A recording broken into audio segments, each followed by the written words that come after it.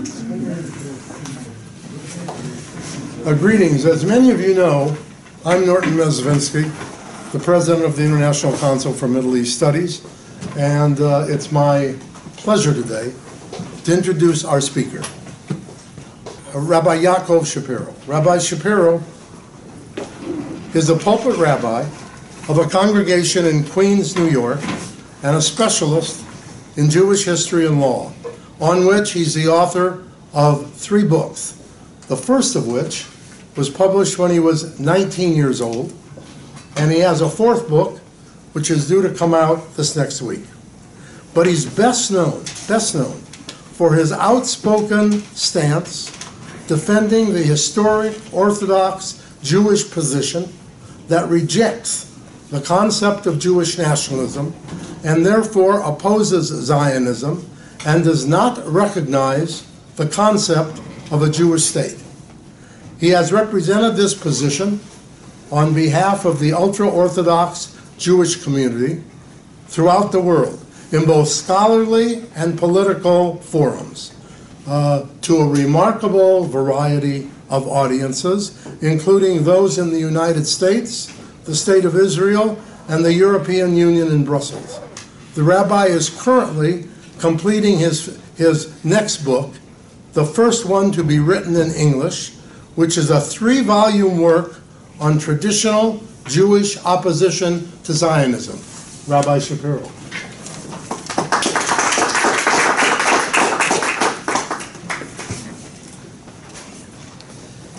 Thank you, Dr. Mezvinsky, and, and thank you all of uh, everybody for inviting me here today. It's a pleasure and an honor to speak for such a prestigious audience. Uh, before I start, do you mind if I take off my jacket? It's a little hot in here. Thank you. Today, the goal of our talk is to understand the relationship between Judaism and Zionism. The uh, official title of today's discussion was Has Zionism hijacked Judaism? In order, to under, in order to answer that question, we have to understand a little about Judaism, a little about Zionism, and at the end, we're all going to be able to answer that question for ourselves. The truth is that in order to understand Zionism, you really do need to understand Judaism. But not because Zionism is Judaism, and not even because Zionism is an offshoot of Judaism, but for a completely different reason. And that is, in order to understand the medical profession, you need to understand disease. If you want to know why a doctor does what he does, why a doctor prescribes medicine or perhaps decides to make an operation or, or uh, put a cast on someone's arm, you need to understand the nature of the sickness. The same relationship that the medical profession has to a sickness, Zionism has to Judaism. Judaism is the sickness, and Zionism is the cure. Without understanding Judaism, you will have no idea why Zionists do what they do. People think mistakenly that Zionism is a purely political movement, and they view it in purely political ways. They would other political movements. And because that, they don't really understand a lot of what's going on. The piece to the puzzle that's missing is Judaism. And we'll start off with an example. Start off with an example, a mysterious statement by the Prime Minister of Israel, Benjamin Netanyahu, that he made, quoted in the Jerusalem Post, 1226, 2016. In one hour from now, we're going to be able to understand the statement. But right now, it'll be a mystery to all of us. The context of the statement was after the United Nations Security Council voted uh, 14 to 0 with America's abstention that the settlements in Israel are illegal against international law.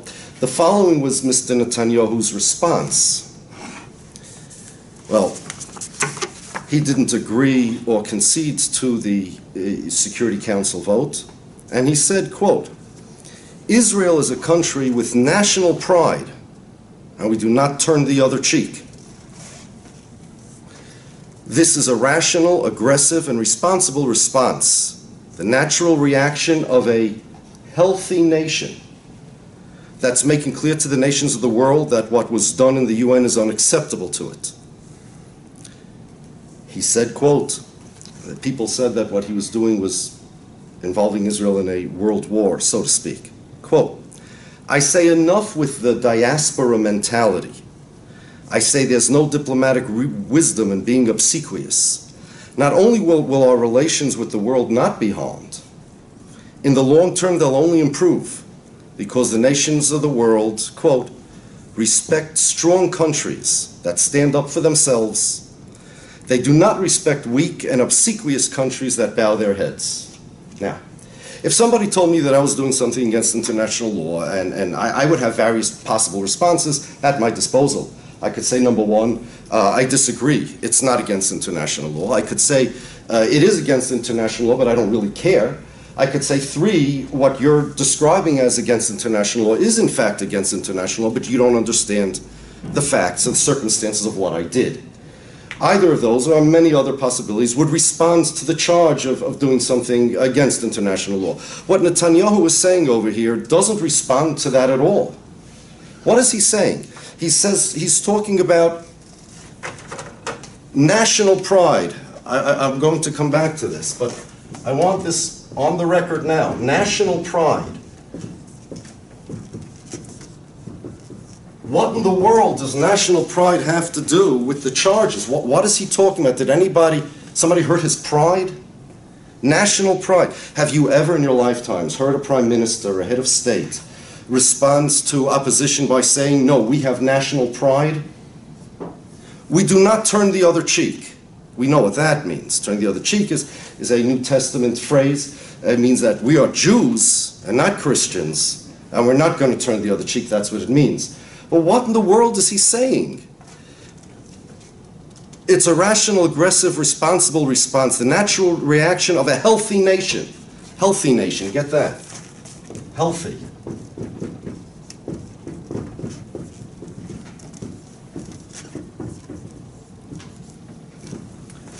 Did anybody question the health of his nation? Was there like a, a Ebola epidemic or something? What does he mean, a healthy nation? And then he says, I say enough with the diaspora mentality. Diaspora mentality.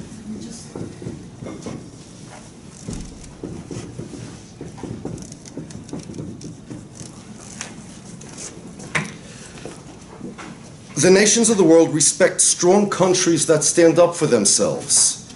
He wants respect. They do not respect countries, now what were his words? That bow their heads.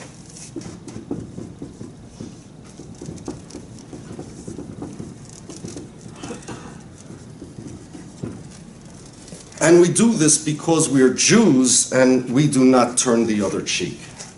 We do not turn the other cheek. Now, clearly, he's addressing issues over here that probably people in this room have no idea what he's talking about. There's something he's trying to communicate about being a healthy nation, national pride. He's trying to tell the world something that, that many people in the world, and if they you, you don't know what we're about to say in the next hour, uh, just won't know what he's talking about. What is it? National pride, healthy nation, bow their heads, turn the other cheek. Excuse me, somebody accused you, you could deny it, you could admit it, you, you could deny, you could do whatever you want. You could plead guilty or not guilty, you could fight it or not fight it. Somebody's saying that what you're doing is illegal.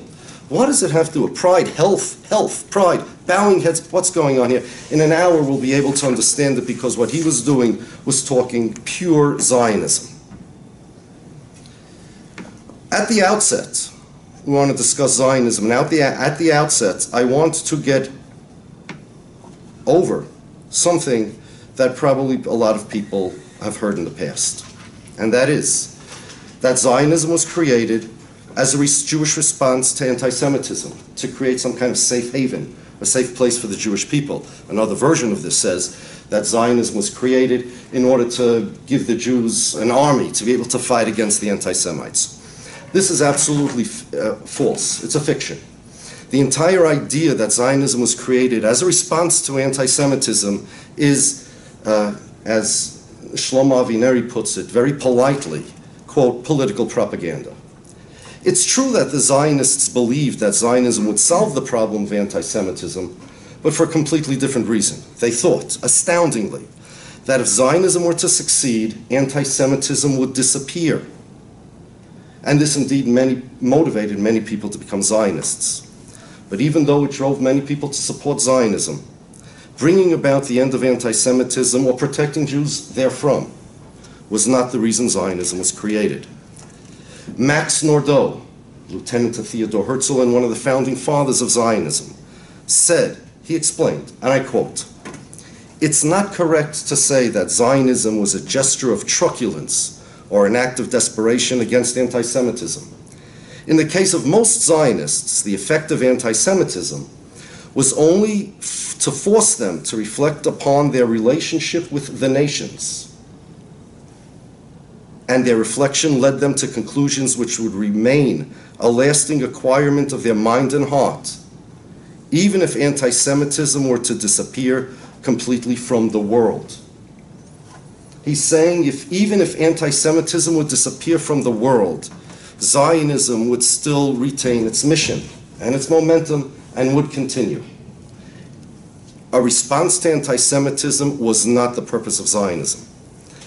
Um, there are similar statements from other Zionist founding fathers. The, the, the, um, uh, the historical record is full of such statements. It's, it's clear uh, Shlomo Avineri, Avineri argues that it would be ridiculous to say that Zionism is a response to anti Semitism because of all the possible times for Zionism to have appeared, the 19th century would be the least likely. Because the 19th century was the best century for the Jews as far as anti Semitism is concerned, at least the beginning of the 19th century when Zionism developed, when it first appeared, since the destruction of the temple 2,000 years ago. Boaz Evron has a spatial, not a temporal argument, also in, in, to show that Zionism is not a response to anti Semitism, that is where it appeared. Said 19th century anti Semitism, especially the racial, so called scientific anti Semitism, um, developed in Germany and France in the 1860s and 1870s. No Jewish nationalist movement developed there and then the Jewish nationalist movement they call Zionism developed in, at a time and in places where anti Semitism was not at its strongest. In many ways, it, was at its weakest. I'm going to add some arguments from Judaism to show that Zionism was much more, much different than a response to anti Semitism, number one. If all Zionism was was a response to anti Semitism to find a safe place, why Israel? Why Palestine? Why the Middle East? There was a Uganda suggestion. There were other suggestions. If all you're looking for is a safe place for Jews to go, why insist on Israel? And they did insist on Israel. Why? Go take an island somewhere. Go take Uganda. It's as safe as anywhere else. It'll be much safer than Israel, that's for sure. Yet they didn't. Another thing, um, the language. They created a language. This thing that in Israel they speak Hebrew, Hebrew is not the natural language of the Jewish people. For thousands of years, we have not spoken Hebrew. Even during the days of the Second Temple, Jews did not speak Hebrew, they spoke Aramaic. You know the story? You, you, do you ever see the clip on YouTube between Netanyahu and the Pope? No, I'm not joking. It's, it's not like Netanyahu and the Pope walk into a bar. It's not a joke. Uh, go into YouTube and punch in Netanyahu Pope. What you'll get is a little clip. The Pope couple of years ago came to visit Israel, and he sits down with Netanyahu, and um, Netanyahu's telling him in Hebrew, he's, he's bragging to him about Israel. He says, This is the place where Jesus lived, and he spoke Hebrew. So the Pope says, No, Aramaic. And Netanyahu says, Yes, but he understood Hebrew. Could be he did, but that's not the language that they spoke. Uh, there were people, there were Zionists that decided that the Jews should create a language, Hebrew. And modern Hebrew is very, very different than biblical Hebrew. I got to tell you, I have a hard time understanding modern Hebrew. I really do. I, I, I, understand biblical Hebrew perfectly. But modern Hebrew is very hard for me to understand because it's, it's much different. But they created this language for the Jews to speak. Why? Do you know how much effort went into that? Do you know how difficult it is to teach people a new language. Jews came from Russia, they came from Poland, came from Germany to Israel. Why couldn't, it happens to be Theodore Herzl in his book, The, the Jewish State, had no intention of, of uh, the Jews in Israel speaking Hebrew. They don't speak Swiss or German or some such language. This was a, a, a, a another idea from the Zionists. Why, if all you're looking for is a safe place, a, haven, wh- why create a language? Why, in what they called the ancient homeland, and uh, create a language? There was much more to Zionism, clearly, than merely um, finding a safe place for the Jews. Now, we're going to speak a little about Judaism now, we're going to take you back in time about a thousand years. Before a thousand years, uh, we could do 500 years too, even 400 years. 350, things get a little murky. Once the Enlightenment came and, and, and Judaism was affected by uh, outside influences, we're going to take you back 500, 1,000 years, and, and we're going to describe the basics of, of Judaic thought. The first question is what is a Jew? Now, if you want the definition of a word, usually go to the dictionary. It's not going to help you over here very much. I have in front of me two dictionary definitions of Jew, one from the Cambridge Dictionary and one from Oxford English Dictionary. According to Cambridge Dictionary, quote, a person whose religion is Judaism or a person related by birth to the ancient people of Israel. Now, there's one of two things. Either your religion is Judaism, even if you're not related by birth to the ancient people of Israel, or even if your religion is not Judaism, if you're related by birth, how are you related? I'm not sure. Paternally, maternally, cousins, it doesn't say exactly, related by birth to the ancient people of Israel. Before the ancient people of Israel, were there Jews? I seem to remember a story in the Bible about a nation coming out of Egypt and giving a Torah on Mount Sinai. And the Bible says, Hayoim Hazen which means now, today, you have become a people. That was in the desert. That was not in any country. It was before the Jews went into the Holy Land. But and yet, the, the dictionary says either a person whose religion is Judaism or, or related to the ancient people of Israel. Oxford says, quote, a member of the people and cultural community, people and cultural community, whose traditional religion is Judaism and who trace their origins to the ancient Hebrew people of Israel. So, according to Oxford English Dictionary, being a Jew is being a member of a people and a cultural community. I'm not sure what connection, what, what kind of cultural community the Jewish people are. Um, around the corner from me where I live, there is a fine young Yemenite Jew. His name is Yichya. Um, Yichya's family was in Yemen for centuries. My family comes from Poland on my father's side for centuries. 500 years we were in Poland, and my mother's family's from England. I have nothing in common with Yichya culturally. Uh, my family spoke Yiddish, his, his doesn't. He, we eat different foods. And now we're all a little mixed up because we're all in the same neighborhood and we influence each other. But uh, traditionally, he eats different foods, speaks a different language. Um, completely, the only one thing we have in common is, is our religion. What exactly is a cultural community? When we're talking about the Jews, just look at this room. If we would point out different Jews and you would say this is one cultural community, people would laugh. A thousand years ago, Rav Saadia Gaon, who was born in Egypt in the 800s and died in Baghdad in the 900s, uh, explains the definition of a Jew. He said, Our nation is only a nation, our people are only a people because of our religion, because of our Torah. That's it. When Ruth the Moabitess converted, she told Naomi, My people are your, your people are my people, and your God is my God our tradition tells us that when she said, Your people are my people, it meant, Your commandments, your Torah is my Torah. The Jewish people, thousand years ago, up until recent times, identified as Jews for only one reason because of a religion. The Jews were a religious community. If you did not practice the religion, it did not make any sense to call yourself a Jew. There were no such thing. If you didn't practice the religion, people converted to other religions. But there was no such thing, with a few quirky exceptions. Perhaps Benedict Spinoza was one of them, depends who you ask. But with a few perhaps quirky exceptions, there were no groups of people that were not observant, that did not follow the religion, that still considered themselves Jews. Atheists did not consider themselves Jews. Jews that converted to other religions did not consider themselves Jews. Jews are completely religious people. But more than that, the religion defines them as Jews.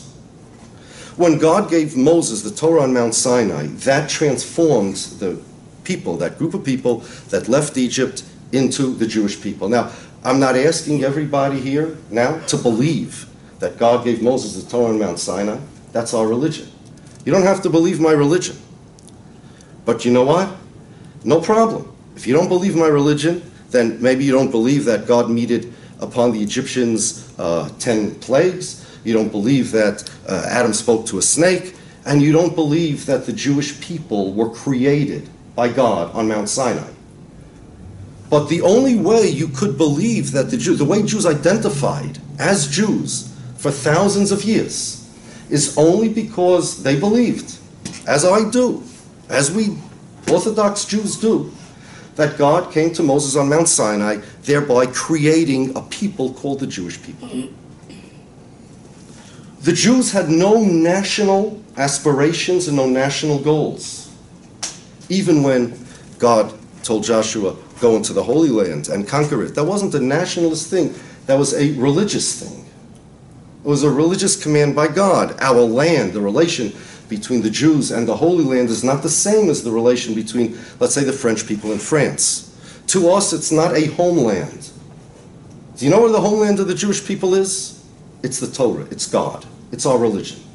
The land is a holy land. Imagine a big synagogue. It's a place for pious people to worship the Lord.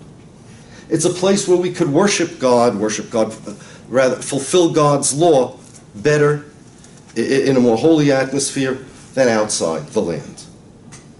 But it's not a national homeland, it's a holy land. The language is not a national language. Hebrew is not a national language. Jews did speak Hebrew in biblical times. But language is called, it's called Lashon HaKodesh. You know, a very interesting thing is a, uh, a professor, uh, Eliezer Schweid, he, he points out that all languages are all named after the people that speak the language. France, French. England, English. America is also English. Um, uh, Russia, Russian. But to the Jews, we called it Lashon HaKodesh. It wasn't called Jewish. They were the Jews. It wasn't called Jewish. It's called the Holy Language. Because it wasn't the national language of the Jewish people. The Jews did speak it, but not for nationalist reasons. It's a holy language. We are not allowed to speak any um, mundane, uh, any mundane uh, words, any mundane thoughts in that language. It's designated nowadays, for the last few thousand years, for study and for prayer. It's a holy language. Are Jews a race? Of course not.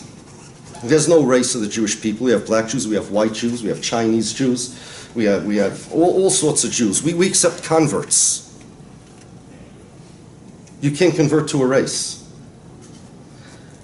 Jews aren't a family either. If we are a family, if we're all related, explain to me why it would be that, you know, uh, Jewish law says that uh, Jewishness follows matrilineal um, uh, descent. If a, a male ma- Jew marries a non Jewish female, the child is 100% non Jewish. And if a Jew, a non-Jewish man marries a Jewish female, the child is 100% Jewish. If it's a blood, um, if, if it's a blood identity, a blood family, you would be half Jewish, a quarter Jewish, and more. Familial affiliation follows, according to Jewish law, according to biblical law, paternal lineage. If you are from one tribe, a male marries a female from a second tribe, the child's tribe follows the father family follows the father. The only thing that follows the mother in Jewish law is religion. Ipso facto. Jews are not a tribe. Jews are not a family. You can convert, you can't convert to a family. You could be adopted. But there's a difference between an adopted child and a converted Jew. An adopted child to a family isn't actually biologically a member of that family. There's a law that says You have to treat the child as if he was a member of the family. But by a Jew, it's not that the law says you have to treat the convert as if he was a Jew. The convert is 100% full fledged Jew as much as anybody else. King David was a descendant of converts. Converts are 100% Jews. And, and what do you have to do to be a convert? You have to accept the religion. The Jewish values. We had purely spiritual values. The interest of the Jewish people was not to win Nobel Prizes and not to win Olympic gold medals. It wasn't to conquer lands. All the Jews wanted in ancient times was to be left alone, to study Torah, and to do our mitzvahs. Our Torah tells us who is strong? He who conquers his own self. Who is honored? He who honors others. Who is wealthy? He who is happy with what he has. The sword was the antithesis of the Jewish lifestyle. Classic Bible, there are two brothers, Jacob and Esav, Yaakov and Esav. Esav is the one with the sword, the hunter. Yaakov is the one that sits in the tents and studies. The Jews eschew violence. We are, we are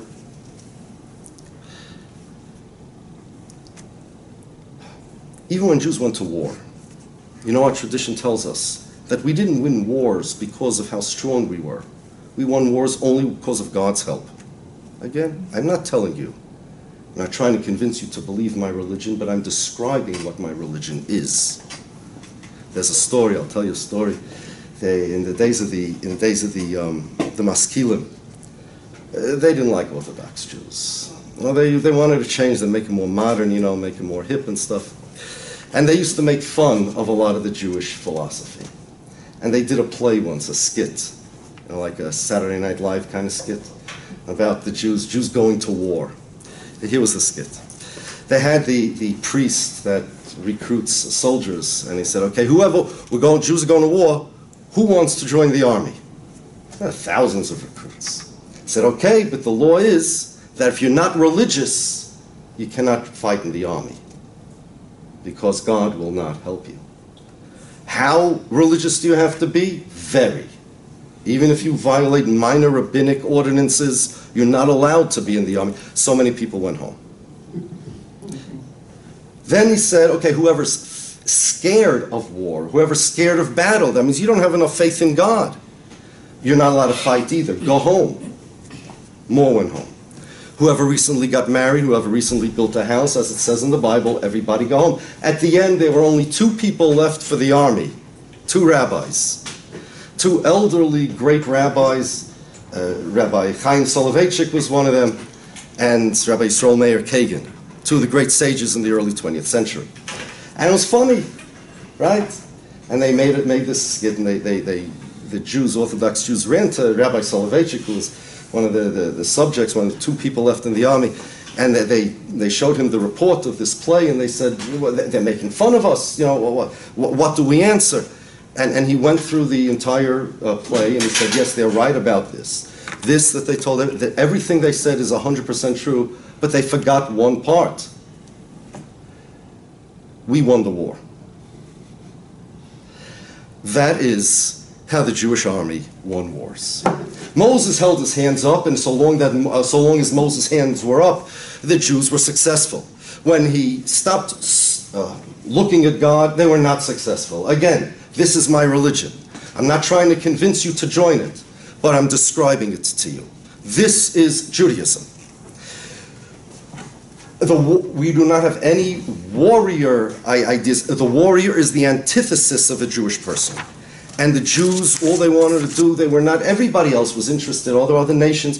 Uh, what is their national pride? Winning gold, winning gold medals, uh, Nobel prizes, uh, the Olympics, win, conquering wars, winning wars. You know, the, the, the, Vikings had this expression, a straw death. If you died on your bed, it was, it was humiliating, a straw death, because a bed was made out of straw. And, and whoever was a stronger warrior was more honored. There was no such thing amongst the Jewish people.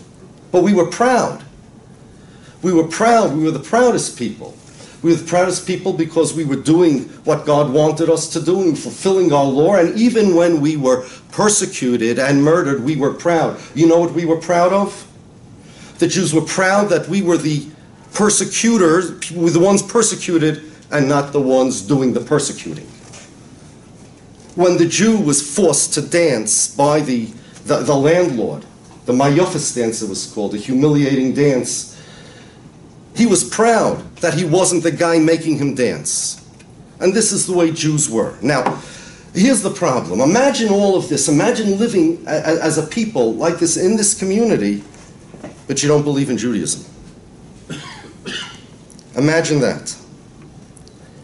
Imagine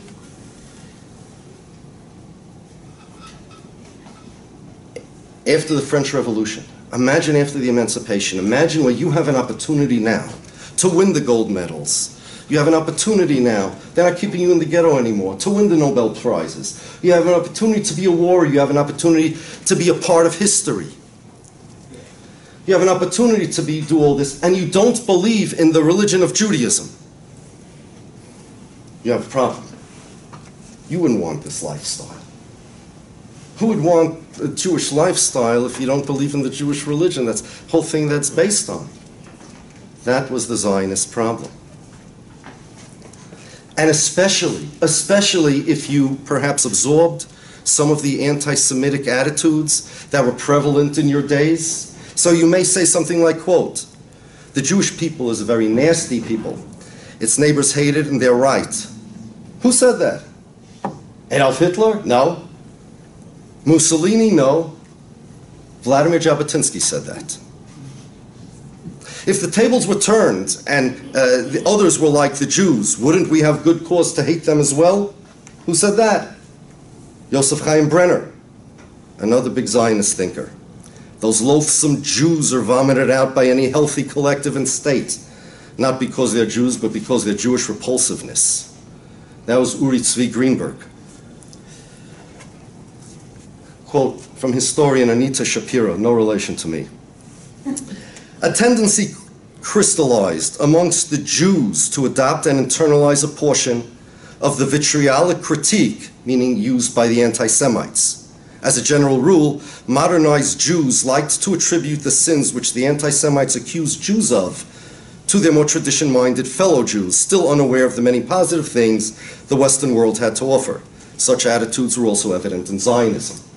There was anti Semitism, and there were then modernized Jews. And they were thinking, why, do every, why does everybody hate us? It's because of them, those religious Jews. The anti Semites are right about them. More than that, and the Disability Studies Quarterly, an article by Dr. Sandy Sufian called Mental Hygiene and Disability in the Zionist Project.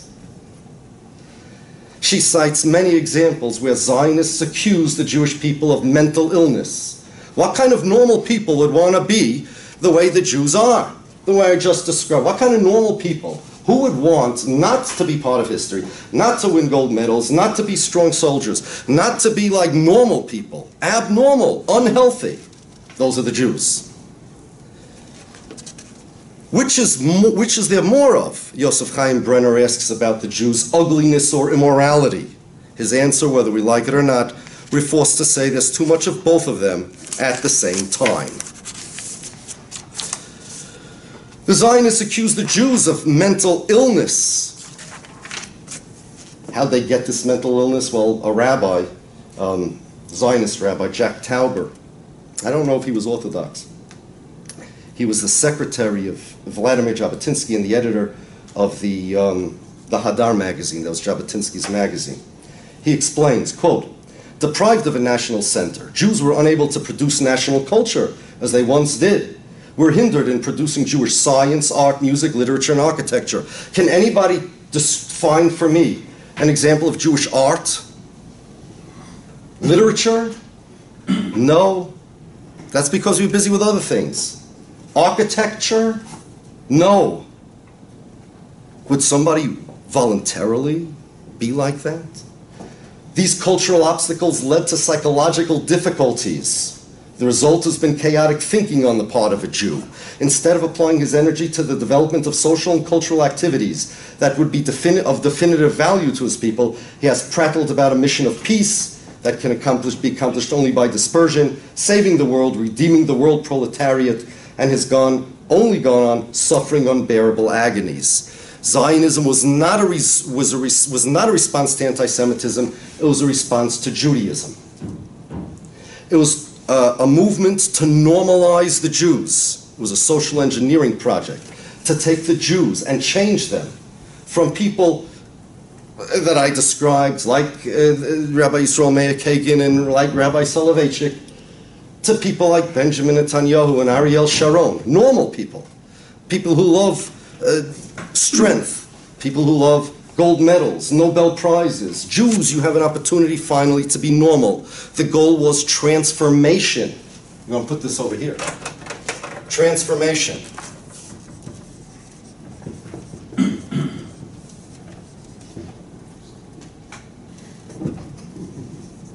Okay? Transformation. That was the Zionist goal to transform the Jews into normal people. Zionism is not merely antithetical to Judaism, it was the antidote to Judaism. How did they plan on? Well, uh, uh you know Amnon Rubinstein? I know Norton knows Amnon Rubinstein. Amnon Rubinstein describes this thus To be a goy means a Gentile. And by the way, contrary to what many people say, that is not in the slightest a derogatory term. It's not a pejorative. It simply means Gentile. To be a goy was the dominant theme of Zionist philosophy in its formative period. On everything, the Zionists differed. Says there were those territorialists that were wanted to consider territories outside of Palestine for the hard-pressed Jews. Uh, there were Zionists of Zion. There were practical Zionists. Even the very basic idea of a Jewish state did not escape dispute, and much doubt was cast on its soundness and practicality. One idea, however, he says, one craving, one urge enjoyed a veritable consensus. That is, to be a new people, to escape the role history imposed upon the Jew, to become, in Herzl's words, this is the last page of his book, The Jewish State, a wondrous breed of Jews that will spring forth from the earth. Joseph Chaim Brenner said, We want the Gentile culture in our own streets, in our own land, in our own people. And that which we would do if we were assimilated with them, we want to do amongst ourselves in our own way. Most of all, we want to be vital and alive without the yoke of Torah and religion, and without the lies and beliefs of religion. Jacob Klatzkin explained the goal of Zionism was to deny any conception of Jewish identity based on spiritual criteria. The goal of Zionism was to dismantle Judaism and to create a new Jewish people. Now, you may ask, why didn't they just convert? Why didn't they just assimilate? Why do they need any of this? The answer is they tried. It didn't work. Zionism was plan B. There were many assimilated Jews. Uh, Theodore Herzl, by the way, in his diary, describes an idea. Before Zionism, he had to straighten out the Jews, convert them all to Christianity. I'm not joking. He had, he had great Christianly. You know the old joke what's the difference between Herzl and Jesus? Herzl celebrated Christmas, Jesus celebrated Hanukkah. Herzl had an idea to, it, uh, thank, you know, it wasn't a realistic idea, but it was, it was an idea he had. He recorded in his diary, that'll work. If that doesn't work, then Zionism will work. What happened was that, uh, especially in 1881 in Russia, there was a tremendous uh, uh, string of pogroms that lasted years. Millions of Jews, two, between two and three million Jews, had to flee Russia. And it was mostly the assimilated Jews that were attacked. So assimilation didn't work. Zionism was plan B. What assimilation could not accomplish, Zionism was designed to accomplish. And basically, the idea is okay, Goyim, okay, people, you don't want to let us play in your ballpark, we'll make our own ballpark for ourselves. So here was the Zionist plan. We're going to create a new people. Now, what type of people? Here is fact one about Zionism. Zionism was different than all the other religio-political movements in that, in the other, different than other religions, in that other religions, other political movements have various ideas of what they want people to be, what they think the world should be. The communists think that communism will save the world, the Christians believe in the Christian religion. Zionists didn't care what they would be. The goal of Zionism was to make sure what they are no longer being, Jews. What was the best way? The question the Zionists had to deal with what the best way to dismantle Judaism. Vladimir Jabotinsky made a eulogy on Theodore Herzl Listen to what he writes. To imagine what a true Hebrew is, Hebrew meaning Zionist, that's what they used to call themselves, to picture his image in our minds. We have no example from which to draw. We have, you can't use any model to know what a real Zionist will be. Instead, we have to use a method of, and here he used the rabbinical expression, ibcha mistavra, meaning learn something from its opposite. We take as our starting point a yid of today and try to imagine in our minds his exact opposite. That's a Zionist. A Zionist doesn't have any particular characteristics, but we do know he's the exact opposite of a Jew. Let us erase from that picture all the personality traits that are so typical of a Yid and insert into that picture all the desirable traits whose absence is so typical in the Yid. Because a Yid is ugly, sickly, and lacks handsomeness, we will endow the ideal image of the Hebrew with masculine beauty, stature, massive shoulders, vigorous movements, bright colors, and different shades of color. The Yid is frightened and downtrodden. And by the way, pay, just keep a little attention on Netanyahu's statements. Slowly, they're going to become understandable. The Yid is frightened and downtrodden. The Hebrew ought to be proud and independent. The Yid is disgusting to all. The Hebrew should charm all. The Yid accepted submission, and the Hebrew will learn how to command. The Yid likes to hide with bated breath from the eyes of strangers. The Hebrew, with brazenness and greatness, will march ahead to the entire world, look them straight in their eyes, and hoist before them the banner I am a Zionist. At the Second Zionist Congress held in Basel in 1898, Max Nordau introduced the idea of muscle Judaism. A short description from Wikipedia captures the idea pretty well. Quote, the characteristics of the muscular Jews are the exact opposite, an antithesis of the diaspora Jew. Nordau saw the promotion of muscular athletic Jews as a counterpoint to such depic- depictions of Jews as a weak people. In addition, the muscle Jew is the opposite of the rabbinic or the rabbinic Jew, the man of letters, the intellectual, who is said to be busy all his life leaning on his books and engaging in esoteric subjects, and therefore he doesn't possess much strength and his muscles are weak.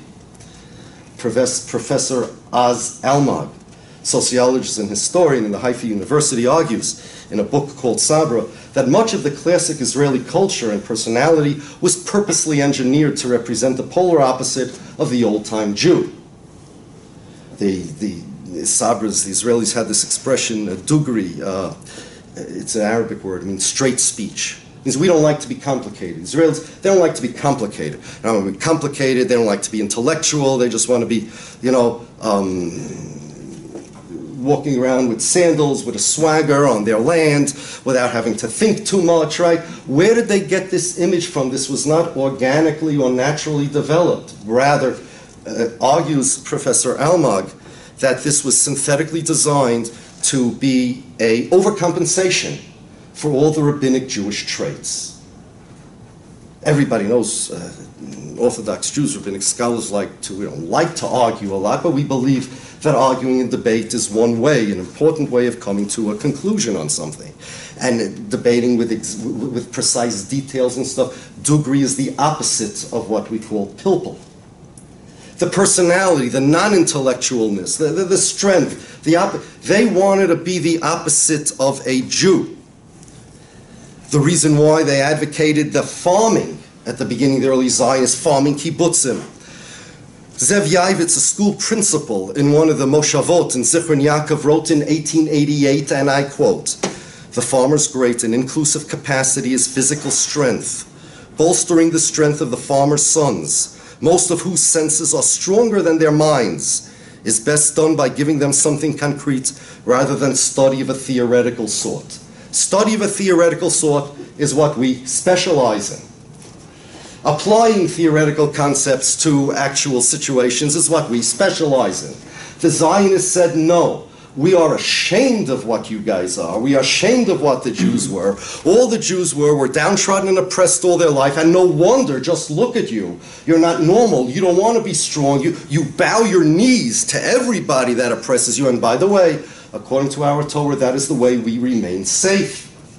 We look at, there's no shame at giving in to an oppressor, just like there is no, you know how we look at the anti Semites? Like animals. Is there any shame playing dead when a grizzly bear attacks you? No. No, or you're gonna say, no, I'm gonna be proud and I'm gonna hit the grizzly bear in the nose. You gotta be crazy. We didn't look at the anti Semites as competition, we looked at our anti Semites as a bunch of animals. And nobody is going to feel pride because the animals uh, attack. Or, nobody's going to say, well, I'm jealous of the animals and I want to be one of them, unless you consider them not animals. You consider them real, valid people. Then say, well, I, I want to be like them. And the Zionists wanted to be like the anti Semites.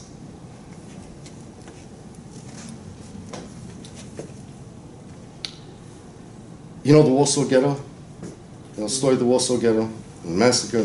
They, they, they're portrayed as heroes. Now, I do not deem to judge anybody, any decisions that anybody makes under those circumstances. It's not what I'm trying to do.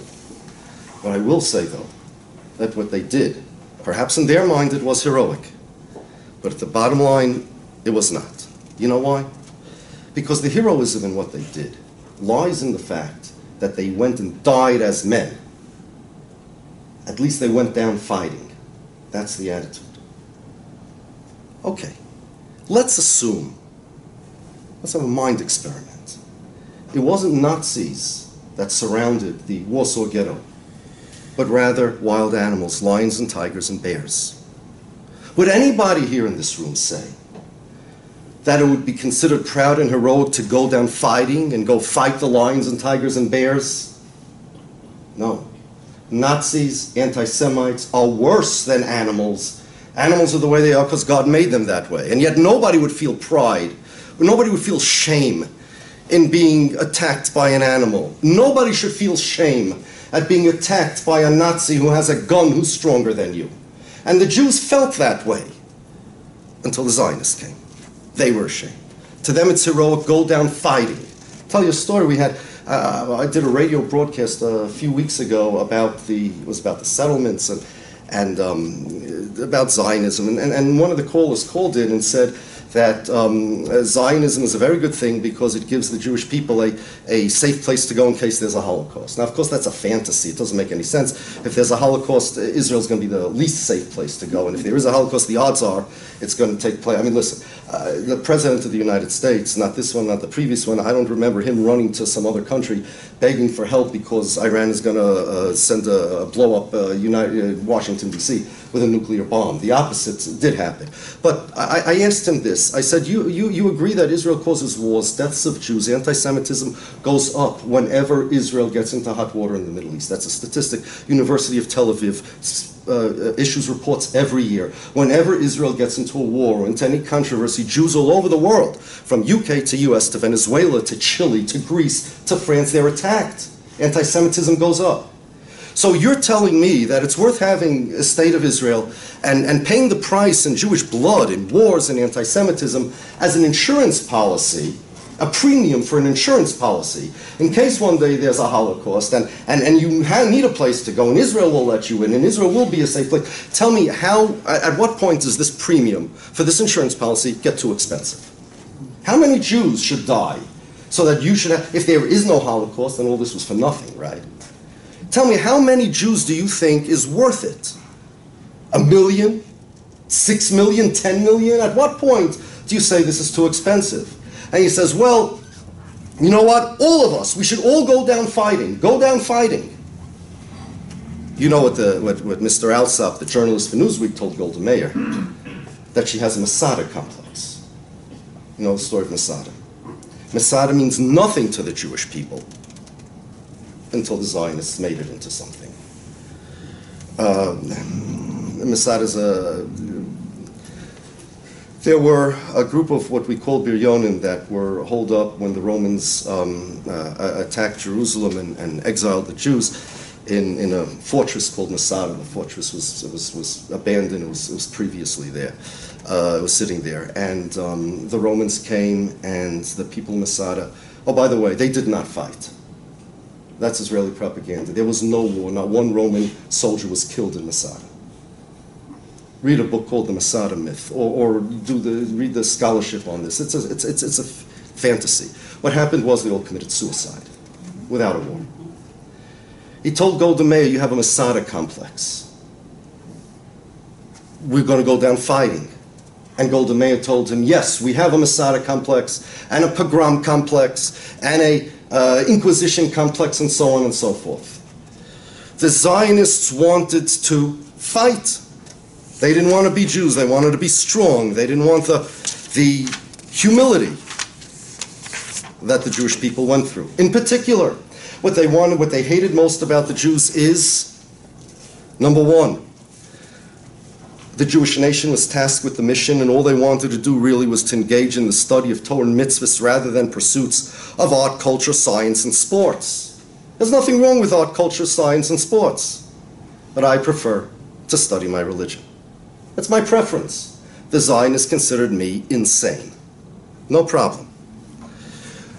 Number two, the idea, the Jewish idea, the value that, that, that hates violence and fierceness of character, even when fighting is unfortunately necessary. The idea that, the, the idea that we look down on the ways of the warrior and the tough guy and instead puts value on character traits of humility and what we call in Yiddish Edelkeit. That the hands of Esav, our enemy, are poison for our soul, and it's the very opposite of what the Jews strive for. They hated the fact that Jews are not, that heretics, if you're not religious, they're not considered part of the Jewish people. Because their application to enter Gentile society was rejected by the Gentiles, the Zionists had no choice but to be Jews. To do so, however, in order to be a Jew, they had to be religious, but that didn't work. So, what they had to do is they had to reconstitute the definition of what a Jew is. They hated the fact that the Jews are mandated, while in exile, not to fight against our enemies. We'd rather play dead, we'd rather run. That's what God told us. They hated that. They considered that disgusting, cowardly. The Zionists believe that Judaism ruined the Jews. Quote,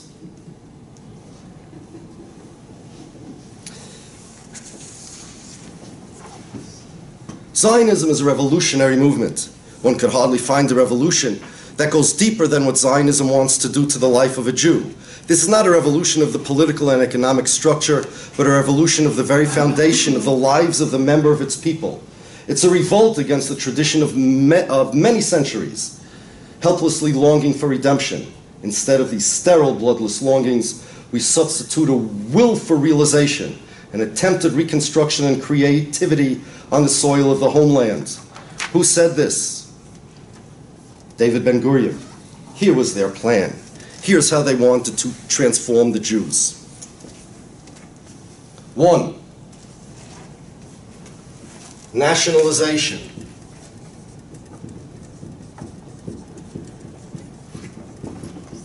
Nationalization. The Jews are a nationality. The Jews are not a religion.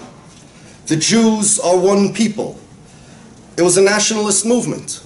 Zionism was a nationalist movement. It was different than, let's say, nationalist movement. Let's say here we're in the United States of America. How did America get created? America got created. We had the colonists from England, and they wanted independence, so they made a nationalist a nationalist movement, and they broke off, and the colonists became the American people. Right? That's not the way Zionism works. Listen to this. Consider. A bunch of people in the Middle East in 1948 decided to make a country. Fine. Who whose country, whose nation state did that become? Like the colonists, was it the people who were there? No. That became the nation state in their mind of all the Jewish people. I'm sitting here in America, my father's in Poland, my mother's in England. In the Middle East, they make a country and that becomes my nation state. You know that Zionism is defined as the national liberation movement of the Jewish people. Hello? No, it was not there were a very small percentage of Jews that were Zionists in those days. It was not the national liberation movement of the Jewish people. It was the national liberation movement of the Zionists speaking in the name of the Jewish people.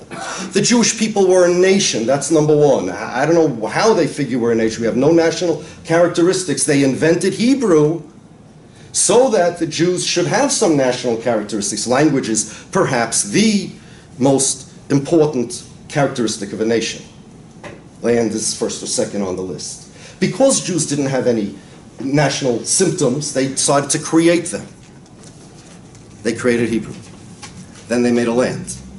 It was very similar, the Jewish, the, the Jewish nationalist movement, to, let's say, the black nationalist movement of Marcus Garvey and later Malcolm X, where they decided that all the, all all the, the black people are one nation. But over here was worse because everybody knows what a black person is. What's a Jew? The black nationalist movement considered people that didn't join them traitors, Toms they used to call them, right? The Zionists considered all Jews that didn't join their movement traitors also, because that's the na- Jews are a nation.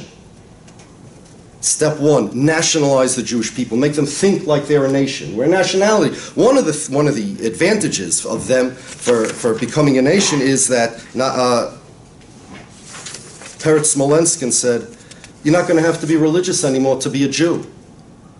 What's a loyal Jew now? Somebody loyal to the country, speaks the Hebrew language, fights in the Jewish army. Forget about religion. You see, here's what Zionism was doing it was taking a religion, a religious community, and transforming it into a national political one. The Holy Land is not a holy land anymore, now it's a national homeland. The language is not a holy language, now it's a national language.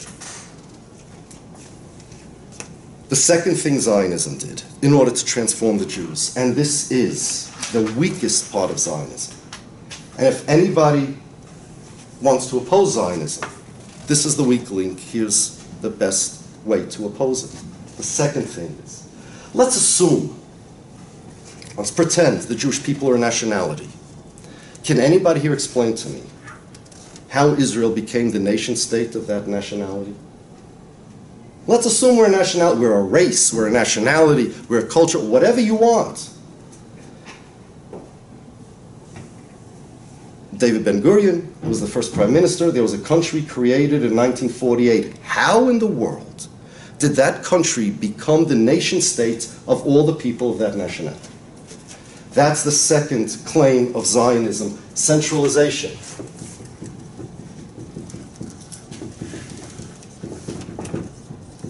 And this is their main claim that Israel represents the Jewish people. You see, most of the discourse of pro Zionism, anti Zionism is whether the Jews have a right to a land, whether the Jews have. It's not the Jews that are demanding rights to anything, it's the people in Israel, it's the Zionists. What, are the Jew, what does it have to do with the Jews? There are millions of Jews all over the world. They created a country. I would like somebody, anybody, Zionist, anti Zionist, whatever you want, to explain to me how that became the nation state of the Jewish people. What is a Jewish state altogether? Well, if you look on Israel's website, Avigdor Lieberman, Israel's website in the uh, Ministry of Foreign Affairs, mfa.co.gov, I think it is, Avigdor Lieberman says, listen to this. Israel is to the Jews what France is to the French and Japan is to the Japanese. So now Israel not only becomes, forget about safe haven, no, Israel becomes the, the, the identity, a core part of Jewish identity. Before 1948, I don't know what the core part of Jewish identity was. Well, they had something called Shlilas Hagolus, which meant between the Second Commonwealth, the Second Temple period, and, and 1948, the Jews were kind of like in limbo, didn't count. Shlilas Hagolus, they called it, the negation of the exile. We were kind of like nowhere they, they looked at themselves some some kind, kind of continuum between like King David, the Second Temple, and, and uh, mostly King David, the Second Temple. We were not an independent state. We were part of the Roman Empire, as we all know. We, there was no king of the Jewish people in the Second Temple, but somehow, some, from biblical times, some type of continuum to the state of Israel. That's all mythology. This centralization that Israel represents the Jews, that they speak in the name of the Jews, that Benjamin Netanyahu is the prime minister of the Jews. Naftali Bennett wrote it, his people say it all the time. He came to Congress, Benjamin Netanyahu, and said, by the Iran deal, and he says, I represent not only my people, but all the Jews all over the world. Could somebody explain to me how Benjamin Netanyahu represents me? Israel claims to be the only democracy in the Middle East, and perhaps in the Middle East they are a democracy, but I was born Jewish in a certain religion, and I know that because I was born Jewish, a man in the Middle East claims to be my prime minister. And if I want to, I don't like Donald Trump, I can move to Mexico or Canada. Mexico, I don't know, I'll be able to get past the wall. But if I can move to Canada, I can move to Brazil, I could move to uh, wherever I want, to the North Pole, and I'm not, he's not my president anymore, but wherever I move, because I'm born Jewish, Benjamin Netanyahu is my prime minister. That sounds like a dictatorship to me. You see, if you want to understand Zionism, forget about, for a moment, how they treat their own citizens. Jews and non-Jews equally. No, look at their relationship not towards their own citizens. Look at their relationship to the people outside of Israel, their relationship to the Jews outside of Israel. This is a radical type of nationalism that is unmatched anywhere. That you have a nation that claims not only to represent its citizens, but a whole group. It's like the Vatican. They claim, I'm not joking, they claim to be the Vatican is to the Catholics. They claim to be the, like the Vatican of the Jewish people. Now, of course, you understand what this means. If you don't believe Israel should be a Jewish state, you're right, you're an anti-Semite. Because if you don't believe that the Vatican should exist or should be Catholic, you're anti-Catholic. If you don't believe in the Vatican, you're anti-Catholic. If you don't believe in Israel now, you're anti-Jew. Because Israel's the Vatican. This is Zionism. And more than that, I'll give you more than that. There's another part of part of uh, Zionism that we have to learn about that is makes their nationalism even more radical. It's called hard to translate in English. Mamlachtius, that's Hebrew. Stateism, I guess. That's how many people translate it. David Ben Gurion invented this. What this means is that not only does Israel represent the Jews, but it's a type of nationalism, a, an organic type of nationalism. Say in America, nationalism is a social contract. We all pay our taxes, and in return, if people in California are attacked, I have to go to the army to defend them. No problem. And, and, the, and, and the United States of America serves the American people. We can criticize um, uh, its leaders, doesn't matter. America serves the, the, the American people. In Israel, it's not that way. It's the opposite. The nationalism that, the organic type of nationalism that Israel portrays is that the, all the Jews are cells in the body and Israel is the body. The interests of Israel, mamlachtius means that the interests of Israel define the interests of the Jewish people. Ben Gurion was criticized for taking uh, reparations money from the Germans. Here's context. So how could you do that? Holocaust victims, millions of people died, and you're taking money for their blood? Ben Gurion said, you don't get it. He said, if the Holocaust victims were here today, they would say, whatever is in the best interest of Israel is what we want. Israel doesn't exist to serve the Jewish people. The Jewish people exist to serve Israel.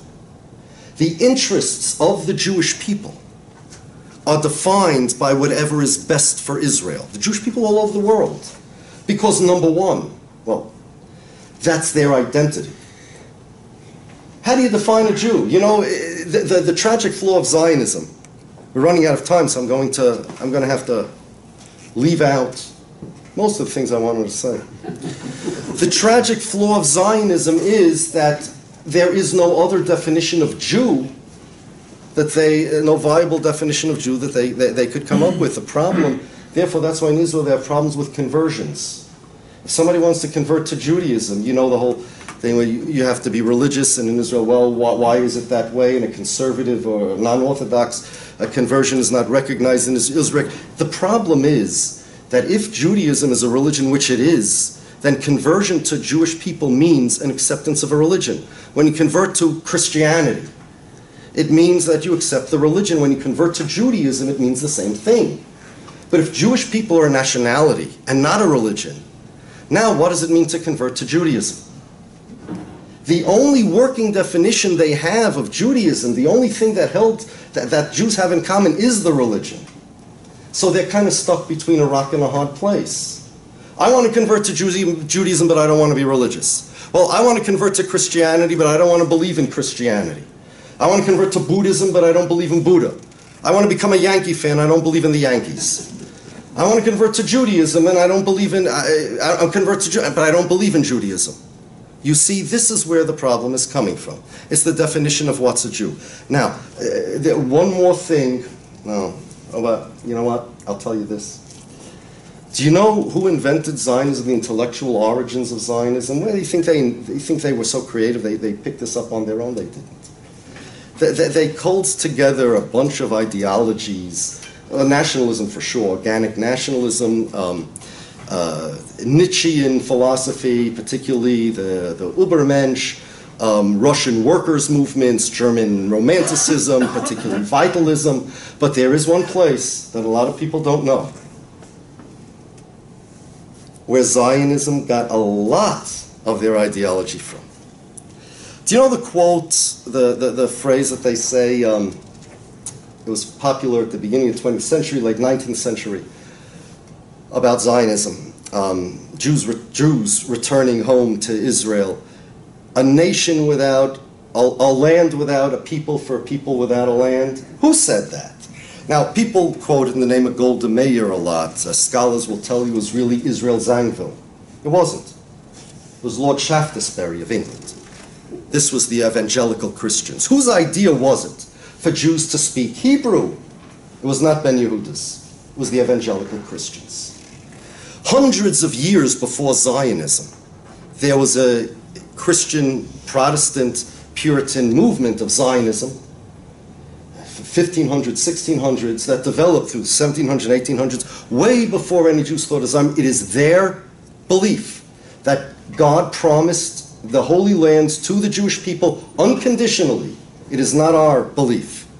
Our belief is yes, of course, God promised the Holy Land to Abraham, but you know what? In Judaism, our concern is not to worry about what God promised us. Our concern is to worry about what we promised God. If God promised somebody the Holy Land, He'll get it to him. When the Messiah comes, we'll get it. We're now in exile, and we're not even supposed to have it. But it's a Christian evangelical belief. The idea that Jews have nowhere to run, that they need a safe haven. Whose idea was that? You ever hear of the Blackstone Memorial? After the Russian pogroms and the Jews needed to run out of Russia, here in America, uh, a guy by the name of Blackstone wrote a petition to uh, President Harrison, um, mostly non-Jews, but some Jews were on it, saying that the Jews have nowhere to go. Who's going to take millions of Jews from Russia? They need Palestine. They need the Holy Land. Otherwise, they're going to be slaughtered in Europe.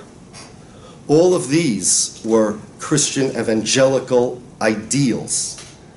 The Zionists took it from them, and I'll tell you the solution to a big mystery with this principle. You know, David Ben Gurion told the British um, committee, uh, they asked him what right do the Jews have to the Holy Land, and they, and they mentioned the British mandate. So he said, quote, the mandate is not our Bible, the Bible is our mandate. Now here's the problem. David Ben Gurion didn't believe in our God. He said, I don't believe in the God of the Bible. I can't pray to some supernatural person. He said, I don't believe in it. He doesn't believe in God, but God promised them the land. What's going on? Everybody knows this, this, this, this contradiction. The answer is because Ben Gurion was talking to the British, who had a tremendous Puritan, Protestant uh, leanings, and they believed this. And what he was saying was, we're a fulfillment of your prophecies. The evangelical Christianity had Zionism before the Jews had it. Who introduced Theodore Herzl to um, the Grand Duke of Baden? Reverend William Hechler. One of these evangelical Christians that read uh, Herzl's uh, book and he figured out that the Messiah is here or something to that. He, he, he um, approached Herzl and he introduced him. He was, I think, the tutor of the Grand Duke's nephew or something. And he introduced Herzl. It was the Christians. I, I, I, you want to hear something astounding? I think it was 2010. Uh, Benjamin Netanyahu spoke in the Auschwitz, site of the Auschwitz concentration camp.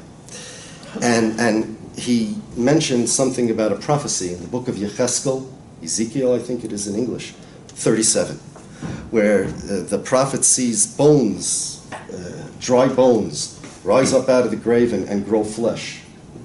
And Benjamin Netanyahu said that this prophecy is fulfilled with the state of Israel because the Jews are a bunch of dry bones and now is Israel. And I'm thinking to myself when I saw this, it's very odd for, for Benjamin Netanyahu, uh, who's a completely non observant secular Jew. When he went to Poland, they offered him, they said, Do you want kosher food? He said, No, I don't need it. I'm not joking. He's, he's completely non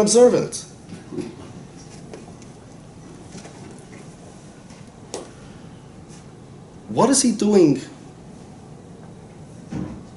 expounding on, on, on the Bible? I did a little research. This interpretation of Yecheskel 37, he, well, I don't want to say plagiarized, but he lifted it from somewhere without attribution. It's 150 years old. Old Christian evangelicals had that interpretation of Yecheskel 37 way before Netanyahu said. And the next day, after he said this, all the evangelical websites were popping. The Christian Broadcasting Network. Oh, the Prime Minister of Israel decided that the prophecy of Ezekiel of, of Yecheskel is fulfilled in the state of Israel. The Messiah is coming. Um, one more thing. Why are there Jews, so many Jews that support Israel?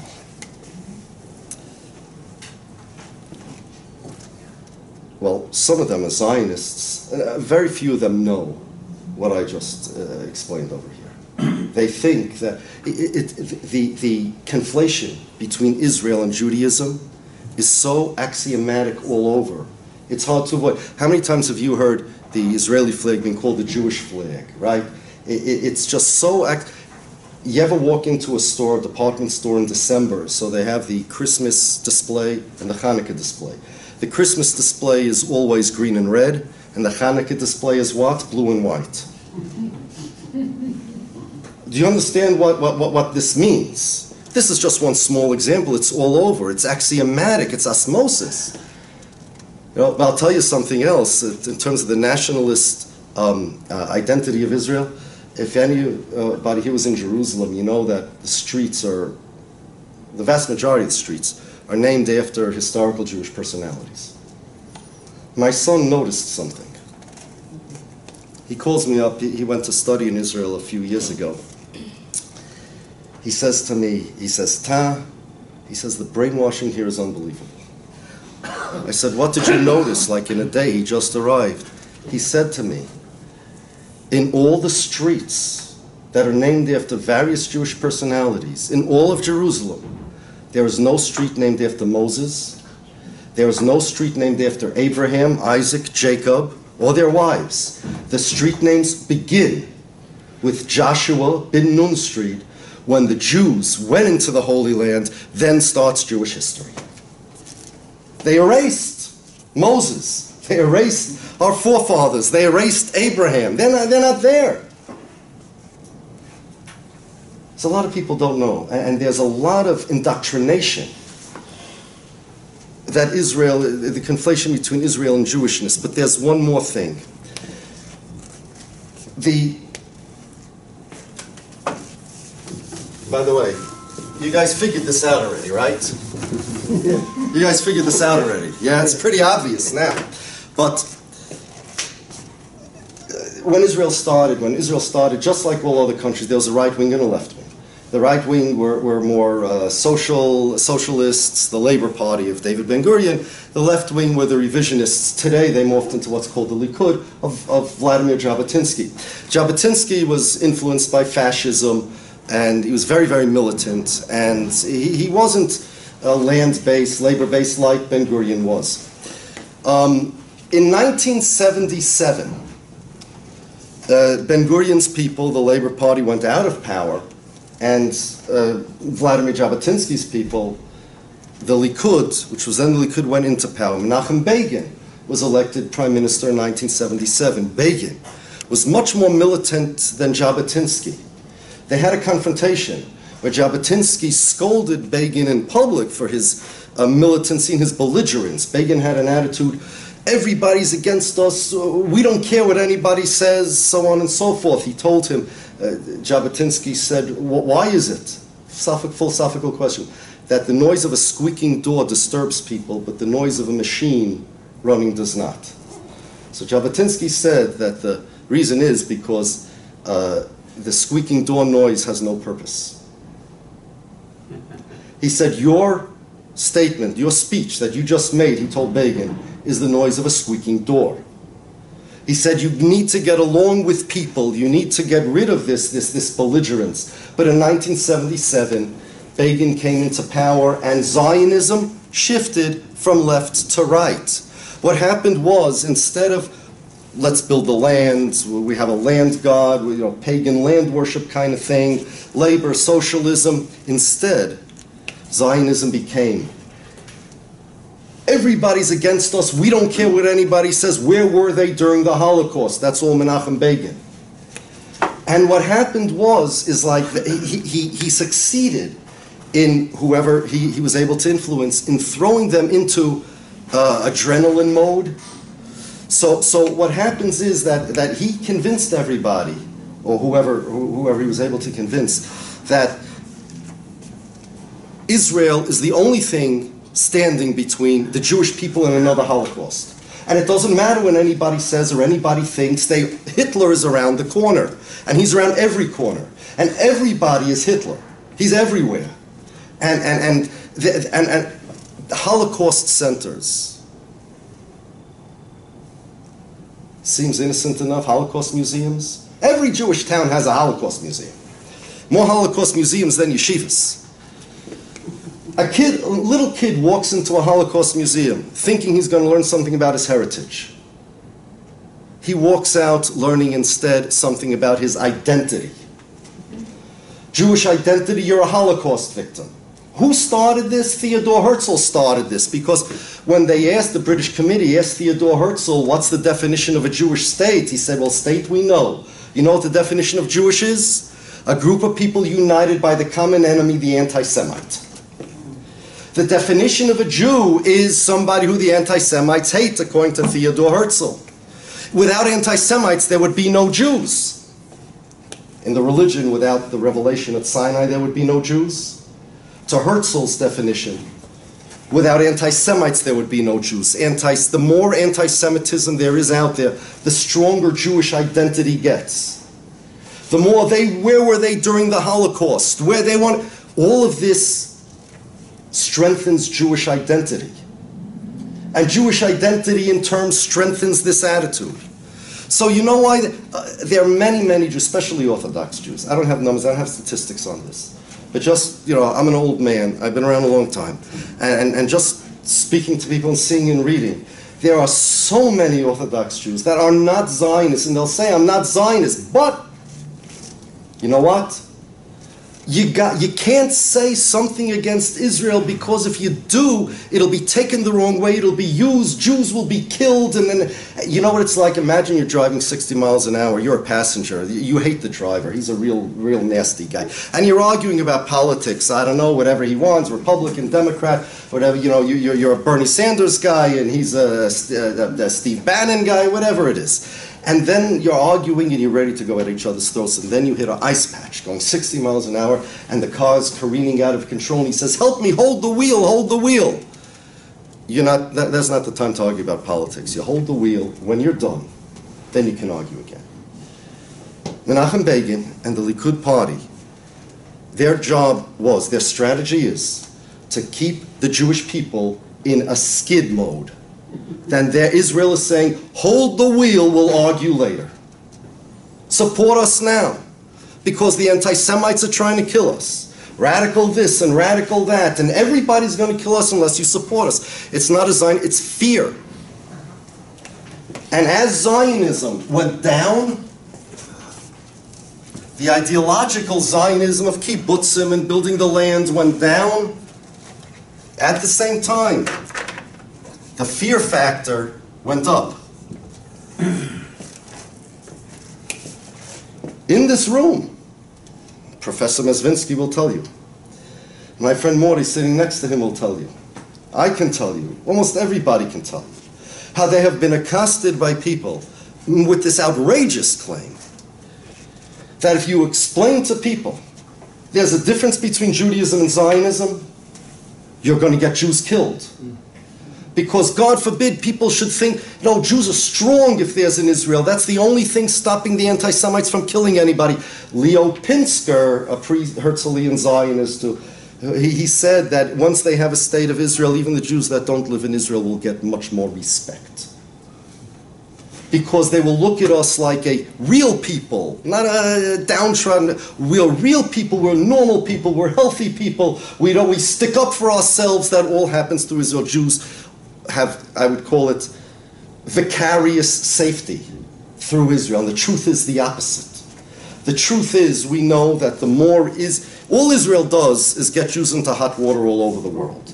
Never mind the 20 or 30,000 people that were killed in wars in Israel. But whenever Israel causes more anti Semitism all over the world, I mentioned the Tel Aviv University, and I want you to know just last week, after Benjamin Netanyahu said he supports um, uh, Trump's Mexico wall, the chief rabbi of Mexico, I have a copy of it in Hebrew here, sent a letter to Aryeh Deri.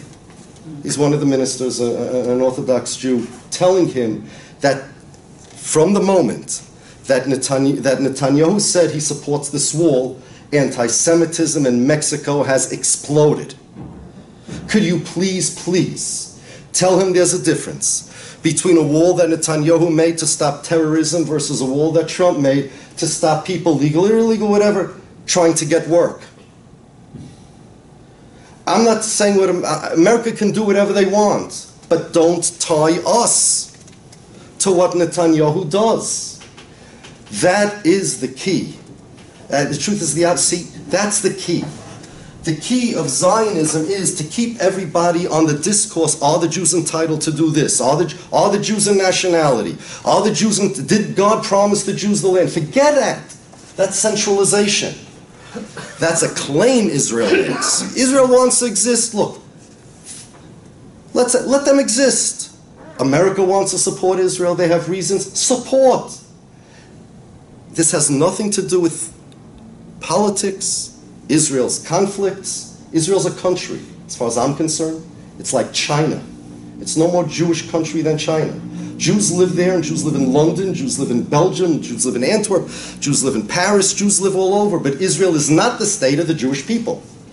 And it would be healthier, no matter what Netanyahu says, it would be healthier for the Jews, for the world, and for Israel if they would give up that claim to be the nation state of the Jewish people. Stop being the Vatican.